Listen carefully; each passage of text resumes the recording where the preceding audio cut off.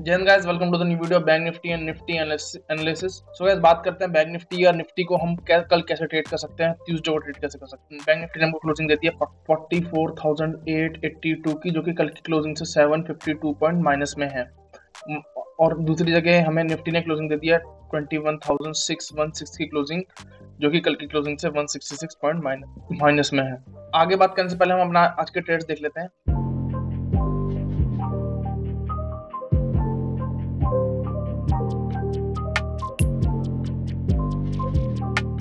So ये मेरे आज के ट्रेड्स हैं। इधर आप देख सकते हैं जो मैं फ्राइडे को मैं वीडियो नहीं डाल पाया था। फ्राइडे सैटरडे संडे को। तो जो मैं थर्सडे को पोजिशन लेके गया था, वो पोजिशन मैं निकाली ही नहीं थी। मैं उसको होल्ड करके ले गया। तो उसमें आज हमारा टोटल हुआ है फाइव थाउज़ेंड प्लस का प्रॉफिट और जो बाकी पोजीशन ले गए वो ये सब है। ये सब एडजस्ट करके आपको कल दिख जाएँगी मॉर्निंग में कि ये क्या थी पोजीशन अदरवाइज़ इनमें भी प्रॉफिट बुकड है कुछ। तो टोटल हमारा five thousand plus booked profit है और उसका थोड़ा सा जो मार्केट ऊपर हमने कॉल शॉर्ट किया हुआ है तो ऊपर जो मार्केट किया, उसमें थोड़ा हमारा टू थाउज़ेंड का लॉस हुआ है। पर मैं इस पोजिशन को होल्ड करते हुए ले जा रहा हूँ। तो उस दिन का मैंने फ्राइडे को ट्रेड किया ही नहीं। एक बार पहले बैंक निफ्टी की बात कर लेते हैं। बैंक निफ्टी में आप देख सकते हैं कि जो यहाँ पे हमको क्लोजिंग दी थी निफ्टी बैंक निफ्टी ने नीचे की तरफ़। उसके बाद अगले दिन ये डेढ़ परसेंट की नीचे क्लोजिंग दी थी और उसके अगले दिन ये डेढ़ परसेंट रिकवर कर गया था फिर आज डेढ़ परसेंट नीचे आ गया है ये। अब इसने क्लोजिंग जो दी है, ये जो पॉइंट लाइन बनी हुई है, जो कि है forty four eight sixty four की, अगर आप मोटा मोटा लेंगे तो forty four thousand eight fifty की जो क्लोजिंग है इसके नीचे अभी तक बैंक निफ्टी ने क्लोजिंग नहीं दी है तो सपोर्ट ले रहा है।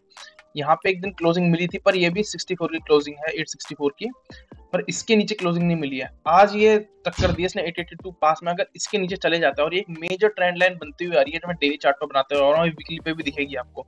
अगर इसका ब्रेकडाउन हो जाता है तो हमको ये लेवल 43,000 से लेके 42,000 तक के लेवल को देखने के लिए मिल सकते हैं नियर टर्म क्योंकि बहुत बड़ा ब्रेकडाउन ट्रेंड लाइन का होगा। तो बहुत लोगों के ऐसा हिट होंगे। एक बार फाइव मिनट स्टार्ट में नज़र डालते हैं, उसके बाद हम निफ्टी को भी देखेंगे। देखिए बैंक निफ्टी में तो कुछ इस तरह का पैटर्न है जो मेरी इसमें स्ट्रेटेजी रहेगी, मेरी तो ये रहेगी कि ये अब एक डाउन ट्रेंड में आ चुका है अच्छे से। और यहाँ पे पैटर्न है बियरिश फ्लैग पैटर्न अगर ये इसी रेंज में ओपन हो जाता तो बेस्ट कंडीशन रहेगी। इसी रेंज में ओपन होने के बाद हल्का हल्का थोड़ा बहुत ऊपर जाए तो भी कोई टेंशन की बात नहीं है। C five thousand two twenty two का एस लेके रखूँगा। हालाँकि मेरी पोजिशन फुल है जाए तो ज़्यादा मेरे को टेंशन की ज़रूरत नहीं है। इसके बाद एक फिर ब्रेकडाउन देखने को मिल सकता है। अगर इसका ब्रेकडाउन मिलता है तो हमको बहुत बड़े बड़े टारगेट देखने को मिलेंगे न्यू टर्म में। बात करते हैं अगर हमको गैप अप ही ओपन मिल जाता है। देखिए गैप अप ओपन के बाद फिर मैं बता रहा हूँ, मैं कोई हैवी ट्रेड नहीं करूँगा ऊपर की तरफ़ के लिए। हो सके तो स्ट्राइंगल कर सकता हूँ। अदरवाइज़ मैं ऊपर ओपन होने का मैं ट्रेड ही नहीं करूँगा। अगर गैप डाउन ओपन जाता है अपनी पोजीशन कवर करूँगा और फिर देखूँगा अगर नीचे होल्ड करता है या हल्का सा बाउंस बैक करके फिर नीचे तोड़ता है अपने डे लो को। तो मैं एक अच्छा खासा ट्रेड ले सकता हूँ नीचे की तरफ़। और तो अपनी स्ट्रेटेजी सिंपल रहेगी बैंक निफ्टी के अंदर। निफ्टी में बहुत अच्छी चीज़ बन रही है, आपको दिखाता हूँ। निफ्टी ने आज हमको नेगेटिव क्लोजिंग दिया। आप इधर देख सकते हैं कि निफ्टी यहाँ पे गैप क्रिएट करके गया था इस जगह पे। निफ्टी इस गैप को ज़रूर भरेगा जहाँ तक मेरा एनालिसिस है। और जो यहाँ पे एक पैटर्न बन रहा है, इस पैटर्न को आप ध्यान से सुनिएगा, मैं क्या बोल रहा हूँ। ये जो पैटर्न है, ये एक डायमंड पैटर्न है, इसको बियरिश डायमंड पैटर्न बोलते हैं।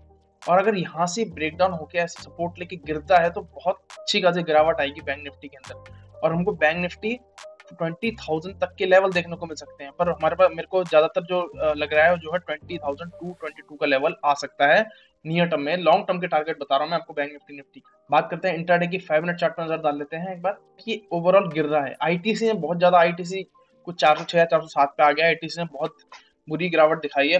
450 पे चल रहा था आईटीसी और 450 से इतना नीचे आ गया। तो ऑलमोस्ट ऑलमोस्ट साढ़े बारह परसेंट की गिरावट है आईटीसी के अंदर। तो ये देखिए एक रेंज बनी हुई थी जिसके नीचे आके इसने निफ्टी ने क्लोजिंग करी है। पर ये जो दो लाइनें मैंने बना रखी हैं काफ़ी स्ट्रॉन्ग सपोर्ट है निफ्टी के लिए।